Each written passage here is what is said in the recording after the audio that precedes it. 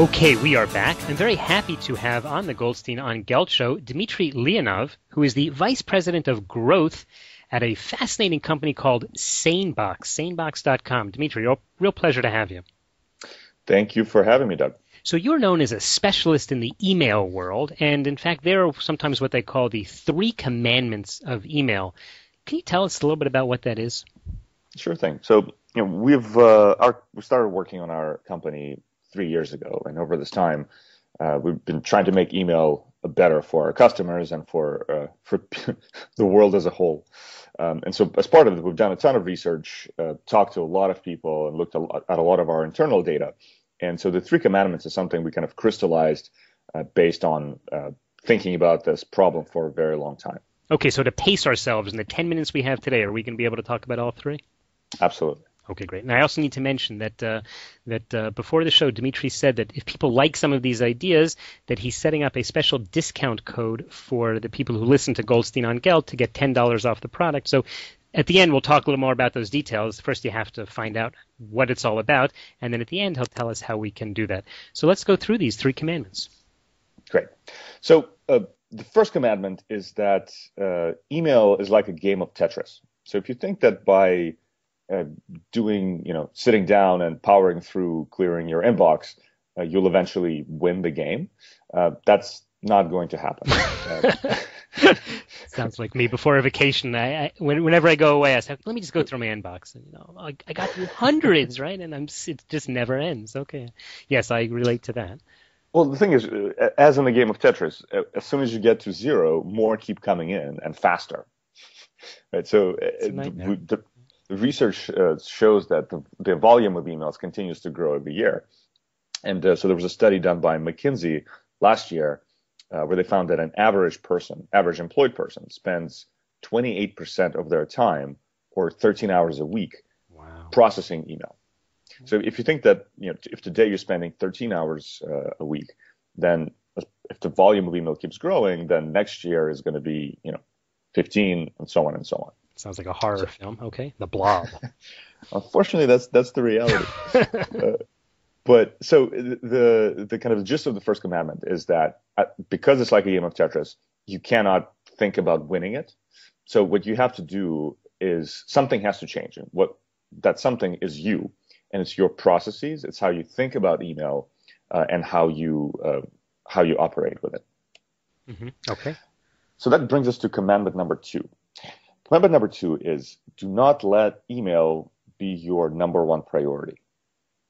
The, the problem here is that over the last few years, uh, you know, email went from taking know, 0% of our time to taking 28% of our time uh, very quickly, very kind of suddenly, without really anybody realizing what, what the heck just happened. and so for, for most of us, our inbox is our default number one priority wake up in the morning, you check your email, you get sucked into it, and you know, what do you mean wake up it, in the morning? When you wake up in the middle of the night, you just tune in. Exactly. Oh, exactly. well, and then it's pretty much the same thing throughout the day. I mean, that that's why it's become 28% because it's kind of we, we get sucked into it, and it feels productive. It feels like you're doing something, um, you know, something good. Um, there's kind of a, an inherent gamification or instant gratification of, of clearing out your emails. But the reality is that your inbox is a to-do list that other people write on for you. And so if you are doing your email uh, or if clearing your inbox is your number one priority, uh, then you're essentially letting other people dictate your priorities. And the only way to the only way to get around this is to dedicate blocks of time to dealing with email.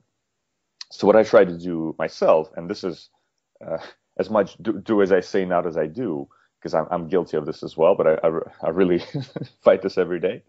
Uh, I, I, when I when I first wake up, I still do check my email, but I, I I look for urgent and important items that need to be dealt with. And if something is not urgent and important, then I close my inbox and I look at my priorities list and I try to knock as, knock out as many as I can in the morning. And then I dedicate a set a set time later in the day for actually dealing with my inbox.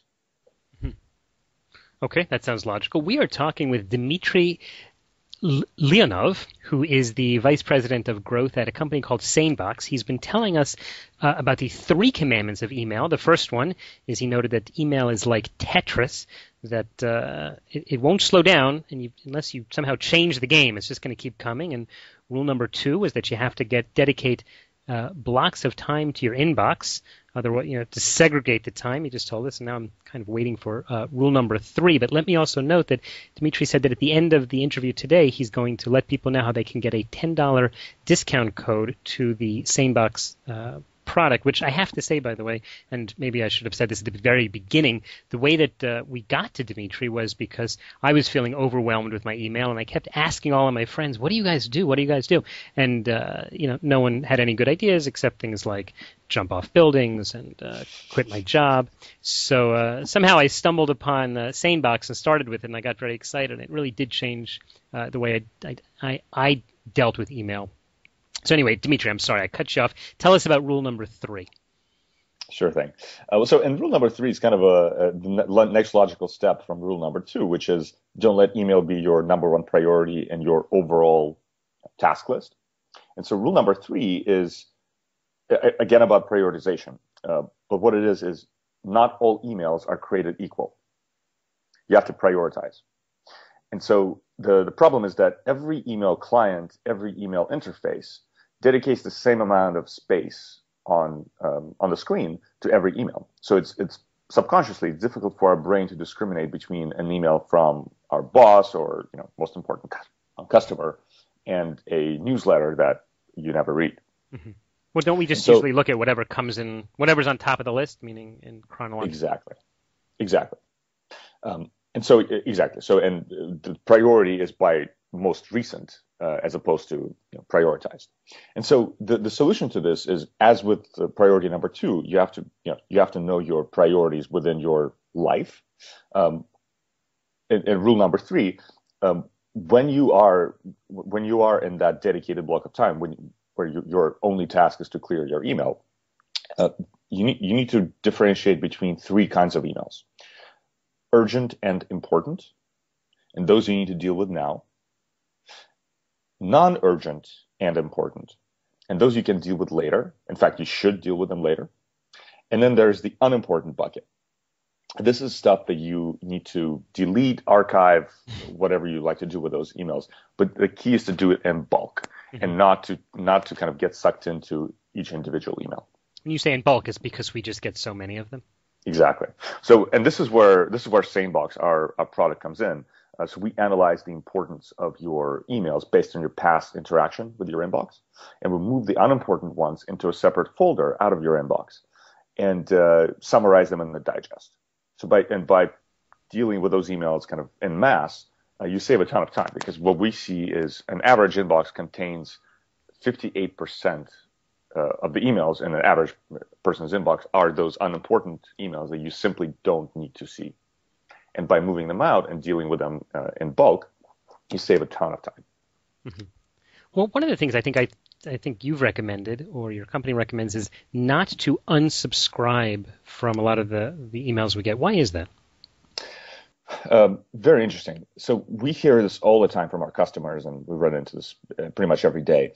Um, when you're unsubscribing from a uh, you know, from a mailing list or uh, some some uh, distribution list, uh, you are at a mercy of the person you're unsubscribing from, and you're really relying on their integrity. Uh, and this is because when you're unsubscribing, you are essentially exposing yourself as somebody who cares about their well, first is a real person, and number two cares about their email. So you are a, a marketer's you know dream come true. I see. So they may just sell you something else. Is that the... Yeah, you just get added onto different lists. Mm-hmm. And so the, the solution is, and this is uh, one of the features that we build, uh, we call it black hole. Uh, and so what that is, is if you enable this folder called Sane black hole, you'll, uh, all future emails from that sender will go straight to trash. So you didn't technically unsubscribe, but you'll never see them again. Yeah, I, have used that many times. I always feel very powerful when I do it. Never going to hear from this guy again. Actually, let me ask you: the way you've been describing email, quite frankly, is perhaps the way my mother, who is an anti-technology person, might even think about it. You make it sound a little bit evil. You say, "Well, people are spending, you know, 13 hours a week doing their email," but isn't your email, and for many people, actually just the work?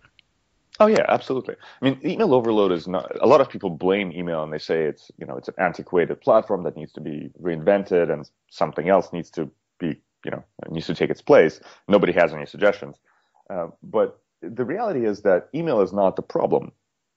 Email is actually a an outcome of a much larger problem, and that is that we work more, we work with more people, uh, and with faster communication cycles. So the fact that you, you can now check your email on your phone, hit reply, and send an email to someone else, uh, essentially, you know, multiplies uh, the the amount of communication that we receive. Mm-hmm. Uh, so I don't I don't think it's uh, I don't think it's evil at all. It's just how we you know how we're thinking about it has become uh, it's become our number one priority by default, and that's mm-hmm. that's the, the the wrong aspect. All right. All right, Dimitri, I have to say that uh, first off, I, I, like getting the philosophy behind your company, and uh, maybe I should have done this before I started working with SaneBox myself. And, other, and uh, again, I just want to stress that uh, I really do feel that having being in a position in my day job that I'm a financial advisor, I do get uh, I don't know. It feels like millions of emails, but I'm sure you're right that it's you know a week it could be thousands. And uh, SaneBox, in fact, has made me a little more sane. So you said earlier that you would uh, let our listeners get uh, a discount if they want to sign up. Could you just uh, maybe tell us now how we could do that? Absolutely. Uh, go to sanebox.com slash gelt. Okay, so people go to sanebox.com slash G-E-L-T, like Goldstein on Gelt, and we'll put a link to this in the show notes. Then they can get a discount there. Perfect. And sane box is the the opposite of insane. Indeed, it is. All right, Dimitri. Thanks so much for your time. Thank you for having me. You've been listening to the Goldstein on Gelt show with money maven Doug Goldstein. Doug's weekly radio show is heard around the world, but if you miss it, you can download the podcast at www.goldsteinongelt.com. The Goldstein on Gelt Show gives you up to date financial ideas so you can get on the path to financial freedom. If you'd like your questions answered on the air or off, send Doug an email to doug at profile financial.com. It's your money for your future, so join Doug every week to build your wealth on the Goldstein on Gelt Show.